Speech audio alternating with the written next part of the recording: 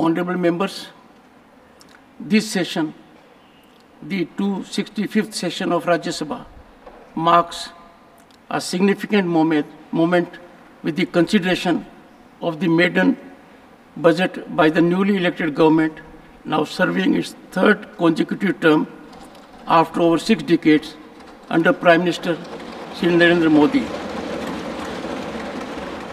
Honorable members, I am confident that this August House will expectedly lead the nation by example to calibrate the political path forward marked by moderation of discourse, pledging to serve the nation, rising above partisan interests. Undeniably, there is need to lower the temperature in our polity. This House must reflect highest standards of sanctity, propriety and protocol of parliamentary traditions that will be motivational for legislatures in the largest democracy and outside as well. World is looking up to us. Let us live up to that expectation.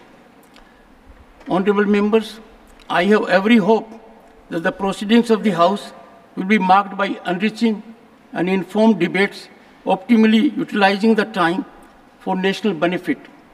Let us uphold the principles of dialogue, discussion, deliberation, and debate, fostering an environment conducive to robust parliamentary discourse and set an example before the nation.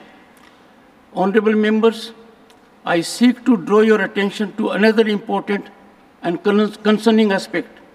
Many a time, members' communications to the chairman find way in public domain and sometimes even before the same reach the addressee. This inappropriate practice of garnering public attention is at best avoided. Honorable member members, there is nothing beyond Bharat which we cannot achieve.